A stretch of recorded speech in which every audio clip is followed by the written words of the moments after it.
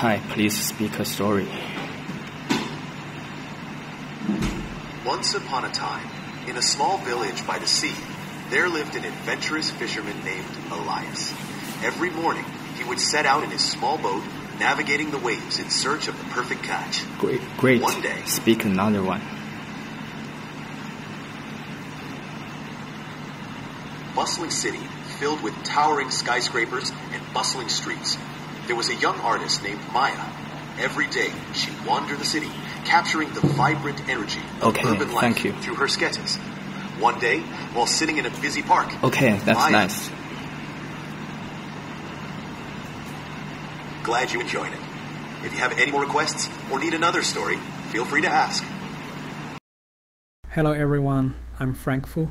The video just now showcased a scene of conversing with a NavTalker real-time digital human and the effect was outstanding.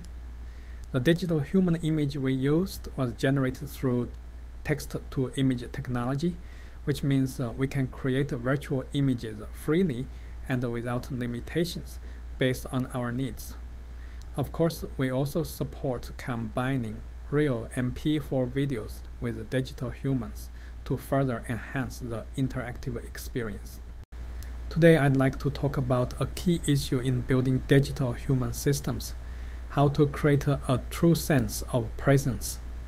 Whether it's a virtual host, an AI tour guide, or a customer service agent, users now expect more than simple outputs. They want natural, seamless, real-time interaction. To achieve this real-time feel, I believe the system must solve two fundamental challenges: precise audio-video synchronization and reliable, stable connectivity. In my own projects, I've focused on both aspects, using WebRTC to implement frame-level media control and optimizing WebSocket handling under high concurrency. Let me share my approach and the solutions I've developed. I found that achieving natural AV synchronization is far more complex than it seems. Audio is typically high frequency and the low latency, pushing small PCM chunks every 20 milliseconds. A video, by contrast, consists of large frames at about 30 per second, which places a higher demand on processing and network resources.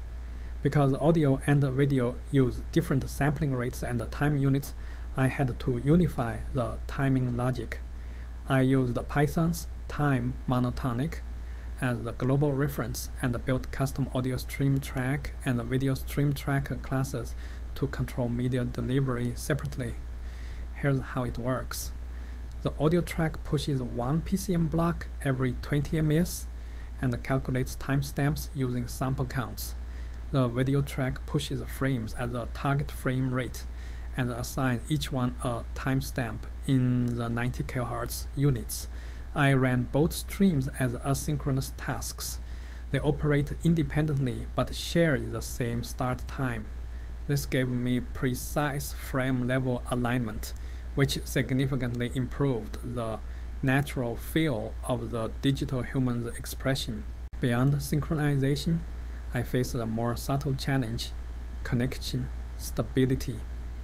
In real-time systems, WebSocket is a core communication layer, but I observed that under frequent connection disconnection, TCP's time wait state would accumulate rapidly, exhausting available ports and causing failures. Time wait is meant to protect against interference from old sessions, but when the client keeps reconnecting, it becomes a resource bottleneck. To address this, I optimized the system on two levels. At the system level, I enabled the port reuse, TCP the deep reuse of R 1, reduced time wait duration, and activated TCP kept alive. In socket programming, I used the SO reuse adder and SO reuse port to allow fast port reuse and multi-process sharing. These adjustments helped me maintain system stability under a heavy load, preventing downtime caused by port exhaustion. In my view, the sense of real-time presence is not just a matter of user perception. It reflects the underlying strengths of system engineering. Audio-video synchronization ensures natural and trustworthy interaction. Connection management determines whether the system can operate reliably in real-world environments. Building a digital human system goes far beyond uh, models.